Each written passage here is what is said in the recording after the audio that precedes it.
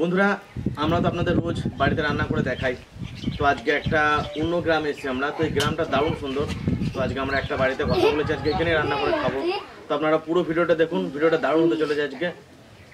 তো চলুন, বাড়ির ভিতরে যাই।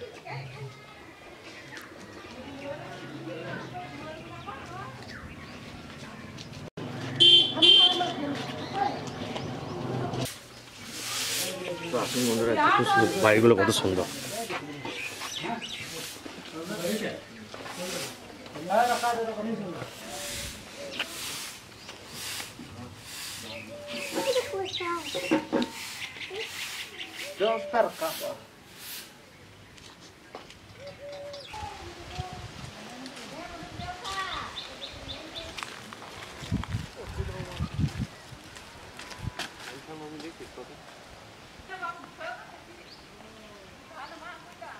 বন্ধুরা দেখুন আমার ভগ্নপতিকেও কাজে লাগিয়ে দিয়েছি। সেইটাই নিয়ম পিকনিকে সবাইকে কাজ করতে হবে।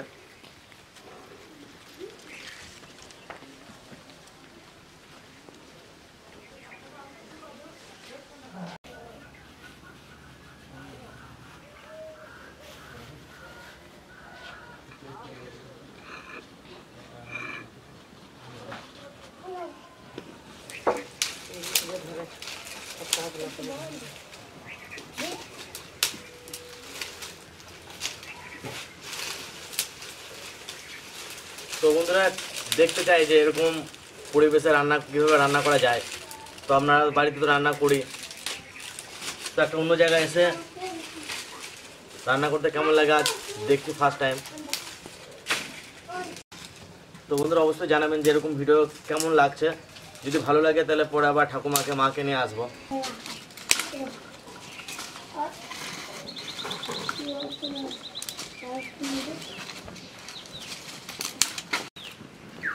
দাদা।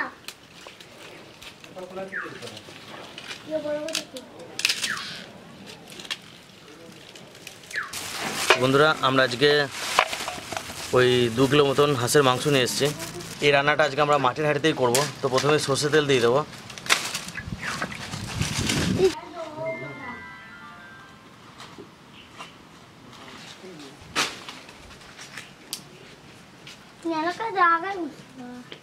জিরে বন্ধুরা এবার পেঁয়াজটা দিয়ে দেবো।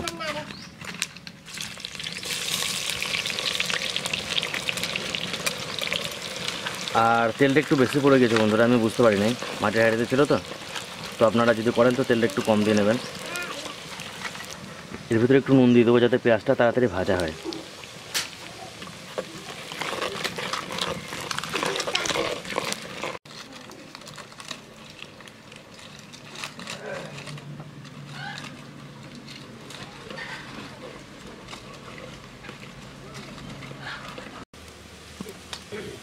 পেঁয়াজটা দেখুন, লাল লাল করে ভেজে নিয়েছি।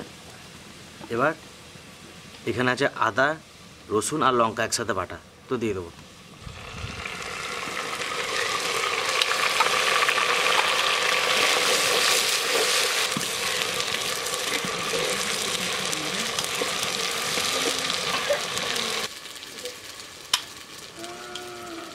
বন্ধুরা, আমি আজকে যেভাবে হাঁসের মাংসটা রান্না করছি, আপনারা এভাবে একদিন ট্রাই করে দেখবেন। তো মানে খেয়ে আপনারা নিজেরাই বলবেন যে কেমন লেগেছে। তো আমি গ্যারেন্টি দিচ্ছি যে প্রশংসা করতে বাধ্য হবেনি তো পুরো রান্নাটা দেখুন, কীভাবে করে। এবার মাংসটা দিয়ে দেবো। আদা রসুনটা ভাজা হয়ে গিয়েছে।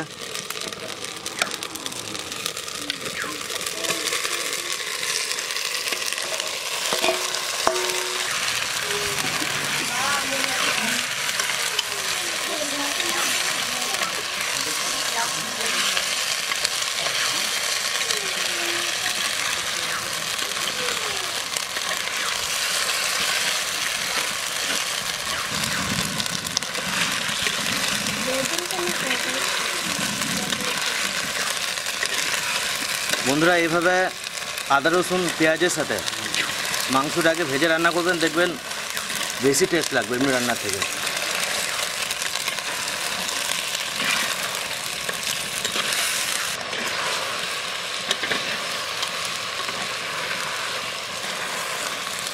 তো বন্ধুরা, আদা, রসুন, পেঁয়াজের সাথে মাংসটা পাঁচ মিনিট মতো ভেজেছে।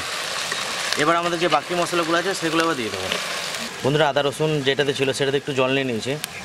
এর মধ্যে দিয়ে দেবো দু চামচ মতন হলুদ, দু চামচ মতন ধনে গুঁড়ি, দু চামচ মতন জিরে গুঁড়ে, দু চামচ লঙ্কার গুঁড়ি।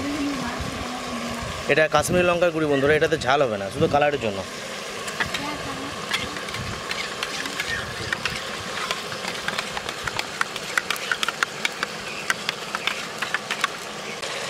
তো এই মিক্সারটা মাংসের মধ্যে দিয়ে দেবো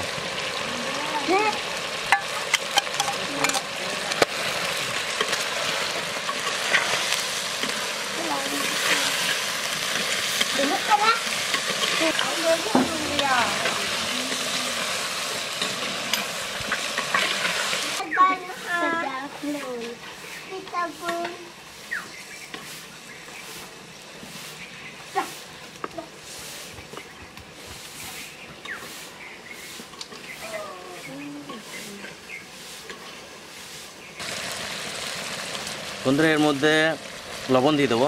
তো আপনাদের স্বাদ মতন আপনারা যতটা খান, সেই পরিমাণে দিয়ে নেবেন।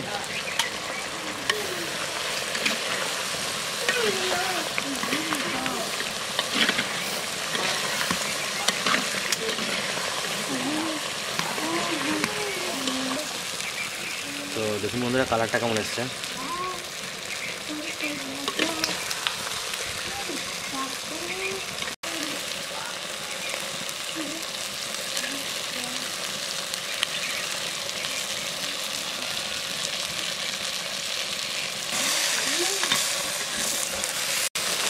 তো বন্ধুরা, মাংস কষানো হয়ে গিয়েছে, এবার জল দিয়ে দেবো।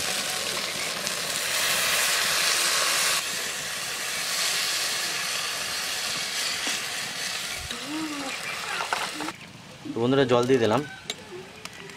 এবার হাঁসের মাংস তো একটু টাইম লাগে। তো আমি মোটামুটি চল্লিশ মিনিট মতন ঢাকা দিয়ে রাখব।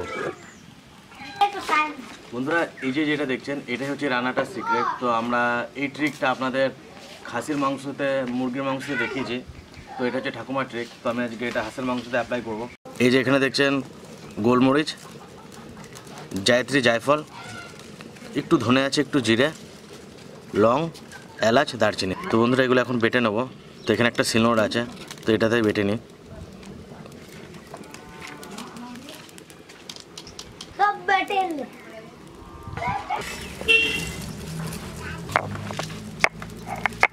বন্ধুরা বাটা যাবে না। একাটা তো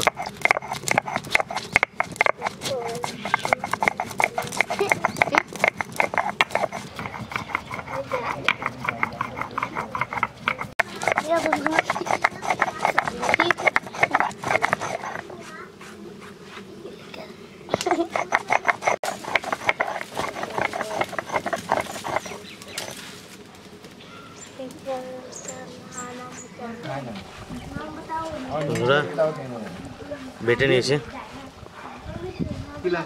এর থেকে ভালো বাটতে পারলাম না এই শিলনোড়াতে তো এটা মাংসের মধ্যে আমরা দেবো। তো দেখুন আমি কীভাবে দিই।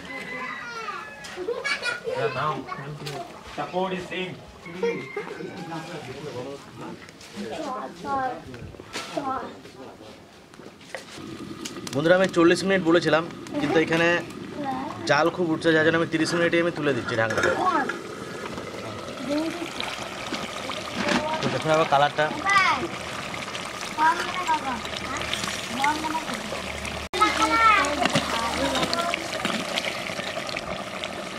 তো এবার সিক্রেট যেটা সেটা দেবো।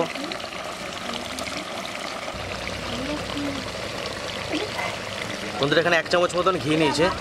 যে মশলাটা বাটলাম, সেটা ঘিয়ের মধ্যে দিয়ে দেবো। তো এখানে কিছুক্ষণ রেখে দেবো। জাল হোক।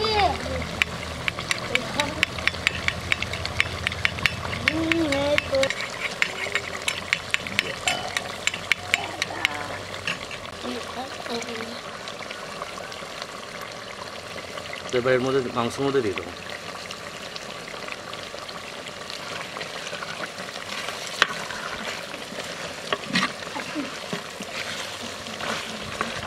বন্ধুরা, এটা দেওয়াতে মাংসটার টেস্টটা অনেকটা বেড়ে যাবে।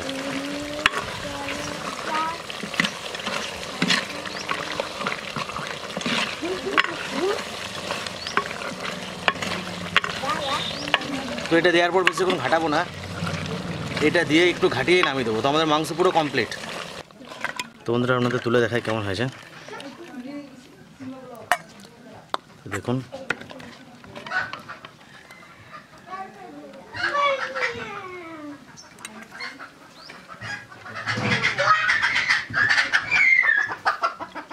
এরা বলে দিচ্ছে না কি ওর দিচ্ছে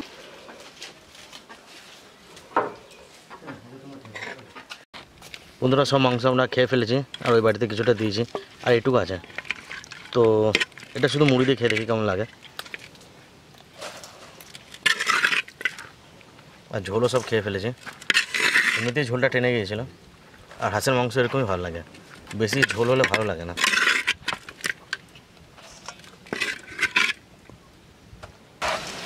বন্ধুরা, প্রচুর হাওয়া জঙ্গলে।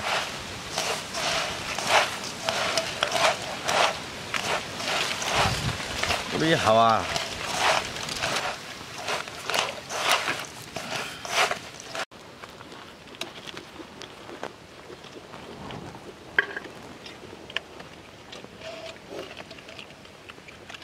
ওদের কেমন খেতে হয়েছে আমি বলব না। আমার ভগ্নিপতি বলব আজকে। আমরা তো হাঁসের মাংসটা চট করে পাই না। আজকে যেহেতু পেয়েছি দাদা যেভাবে রান্না করেছে সেদ্ধটা যা হয়েছে হাঁসের মাংস শুনেছি যে হাড় চিবিয়ে খাওয়া যায় না। এখানে হাড়টা চিবিয়েও খাওয়া যাচ্ছে। কেমন করে খাওয়া যাচ্ছে সেটাও আমরা দেখাচ্ছি। না বন্ধুরা এমনি খুবই নরম হয়েছে মাংসটা। এই দেখুন বন্ধুরা মুরগির মাংস হাড়ও এরকম চিবিয়ে খা- শেষ করা যায় না।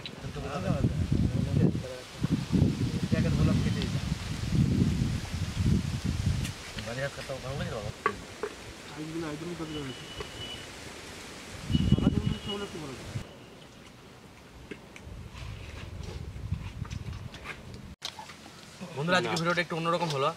তো আপনারা জানাবেন যে ভিডিওটা কেমন লেগেছে। আর ভিডিওটা এখানেই শেষ করছে কারণ ভাই খাবে ভাই ক্যামেরা করছে। আর আমি ক্যামেরা করতে পারব না আমার হাতে লেগে আছে। তাই ভিডিওটা এখানেই শেষ করে দিচ্ছি। তো অবশ্যই কমেন্ট করে জানাবেন যে কেমন লেগেছে। ধন্যবাদ। আর পাশে থাকবেন।